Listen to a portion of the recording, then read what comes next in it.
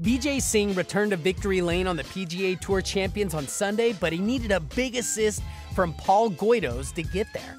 Playing a course where he won three times on the PGA Tour, Singh earned his fourth win overall at Warwick Hills Golf and Country Club in Grand Blanc, Michigan, claiming the 2023 Ally Challenge for his first senior circuit win in five years.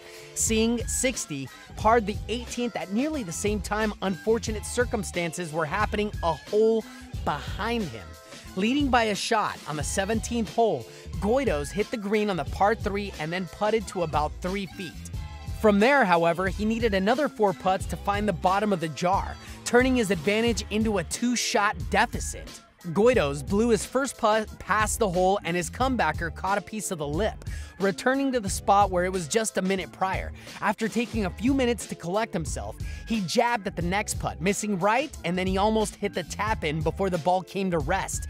After picking up his ball out of the hole, he looked towards his caddy, crossed his arms, then stared at the hole in bewilderment for several moments. He would par the 18th to shoot a 71. Singh closed with the 68. I'm as shocked as anybody, Singh said. I guess for some reason I drive the ball very well here. Whenever I come here, tree lined, I drive it well and I've putted well. My putting has been a mystery for a long time, but I found a few things out the last few weeks and I've been putting really well. All right, that's it. How many times have you seen this? I mean, I've done this time after time after time after time. So, uh, yeah, no shame there, Paulie. Everybody does this. That's part of golf. And you think when you're doing this, man, how could I do this? I'm the only person that ever does this. I'm the biggest idiot in the world.